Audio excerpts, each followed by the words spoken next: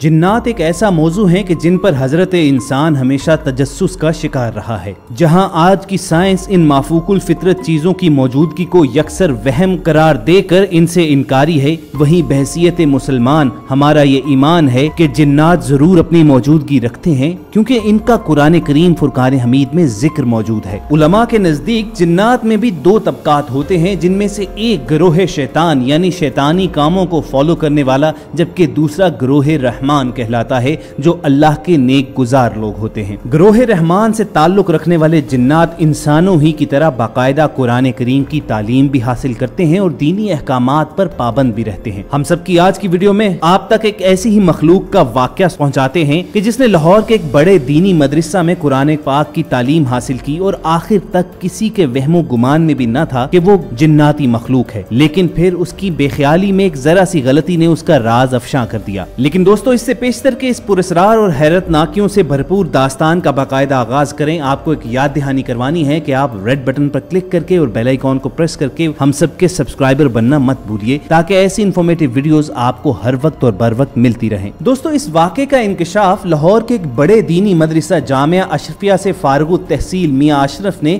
روزنامہ ڈیلی پاکستان کی ایک رپورٹ میں کیا۔ میاں اشرف نے بتایا کہ انہوں نے جامعہ اشرفیہ میں حضرت مولانا عبید اللہ سے دین کی تعلیم حاصل کی تھی۔ دوران تعلیم، انہوں نے کئی لوگوں سے یہ سن رکھا تھا کہ جنات بھی ان کے استاد محترم کے شاگرد ہیں۔ وہ اس بات کا یقین تو رکھتے تھے کہ جنات کا ذکر قرآن پاک میں موجود ہے اور یہ مخلوق بھی انسانوں ہی کی طرح کھاتی پیتی اور عبادت کرتی ہے اور ان کی بھی معاشرتی اور آئلی زندگی ہے۔ میاں اشرف کہتے ہیں کہ میری بھی جنات کو دیکھنے کی تمنا تھی۔ کئی دوستوں سے اس کا ذکر بھی کیا، لیکن ہر کوئی اس مسئلے پر خاموشی اختیار کرنے کا مشورہ دیتا تھا۔ ایک روز ہمارے ایک استاد جو ہم پر بہت شفقت فرماتے تھے، انہوں نے میرا ذوق دیکھ کر مجھے کہا کہ میاں اشرف، بات ایسی ہے کہ جب سے استاد محترم نے حکم فرمایا ہے، اب جنات طالب علم ظاہر ہو کر کلاس میں نہیں بیٹھتے اور اگر کوئی انسانوں کی طرح ہم میں موجود ہوتا ہے، تو اسے اپنی جناتی جبلت کو ہر صورت میں قابو رکھنے کی ہدایت کی جاتی ہے۔ میاں اشرف بتاتے ہیں کہ جب میں نے اپنے استاد محترم سے جنات پر ظاہر ہونے کی پابندی کی وجہ دریافت کی،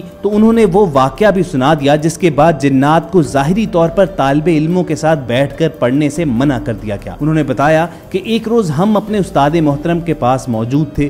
اس وقت دس بارہ طالب علم وہاں پر تحصیل علم کر رہے تھے۔ دراصل اس روز استاد محترم کی طبیعت خراب تھی، وہ آرام فرما رہے تھے۔ موسم شدید گرمی کا تھا، لیکن اس روز بارش کی وجہ سے گرمی کا زور کم ہو گیا تھا۔ اچانک استاد محترم حضرت مفتی عبید اللہ نے ایک طالب علم سے کہا کہ وہ پنکھا بند کر دے۔ طالب علم نے آپ کا حکم سنتے ہی جی حضور کہا اور پھر اس نے بیٹھے بیٹھے ہی اپنا ہاتھ ہاتھ سوئچ بورڈ کی طرف بڑھایا جو اس سے دس فٹ دور دیوار پر چار فٹ اونچا لگا ہوا تھا۔ طالب علم کی یہ حرکت دیکھ کر سبھی ساتھی دم خود رہ گئے اور خوف سے ان کے دیدے پھٹ گئے۔ کیونکہ نہ جانے وہ طالب علم اس دن کس خیال میں تھا کہ اس کا بازو سوئچ بورڈ تک لمبا ہو گیا اور اس نے سوئچ نیچے کر کے پنکھا بند کر دیا۔ اس کی یہ حرکت دیکھتے ہی استاد محترم نے اس کی سخت سرزنش کی اور اسے فوراً مدرسے سے نکل جانے کا کہہ دیا۔ اس روز ہم پر انکشاف ہوا کہ وہ طالب علم جن جنات میں سے تھا اور اس جیسے کئی جنات ہمارے ساتھ مدرسے میں قرآن و حدیث کی تعلیم حاصل کیا کرتے تھے، لیکن پھر اس کے بعد ہم نے کبھی کسی جن زادے کو ظاہری طور پر نہیں دیکھا۔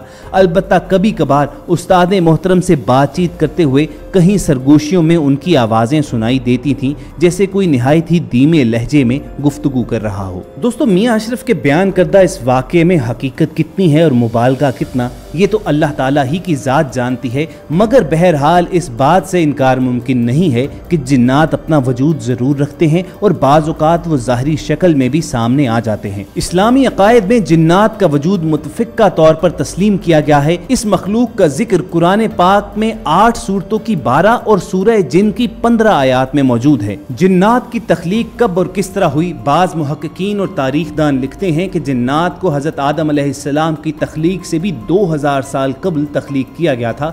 قرآن حکیم میں اس کا ذکر کا ترجمہ ہے کہ ہم نے انسان کو کھنکتے ہوئے گارے سے پیدا کیا اور جنوں کو اس سے بھی پہلے بے دھوئیں کی آگ سے پیدا کیا۔ سورہ رحمان میں بھی اللہ تعالیٰ کا ارشاد مبارک ہے کہ انسان کو بجنے والی مٹی سے پیدا کیا اور جنات کو آگ کے شولے سے تخلیق کیا۔ علماء کی رائے میں جنات میں نیک اور بد دونوں اقسام ہوتی ہیں۔ یہ مختلف روپ دھار کر روئے زمین پر وارد ہوتے ہیں۔ انہی میں سے ایک جن کا نام ابلیس تھا جو انسان کی دشمنی میں اندھا ہو گیا اور اس نے نسل آدم کو بہکانے کے لیے قیامت تک کی مہلت لے لی۔ یہ وہی ابلیس ہے جس نے اللہ کی نافرمانی کی تھی اور حضرت آدم علیہ السلام کو سجدہ کرنے سے انکار کر دیا تھا۔ اور اس نے یہ انکار صرف اس تکبر ہی میں کیا گیا تھا کہ آدم کو مٹی سے پیدا کیا گیا ہے اور مجھے آگ سے تخلیق کیا گیا ہے۔ اسی طرح جنات میں نیک اور بزرگ گروہ بھی تھے، وہ اپنی ذات میں کسی کو نقصان نہیں پہنچاتے، جس کی اولین مثال حضرت سلیمان علیہ السلام کی ہے کہ جن کے تابع فرما رہ کر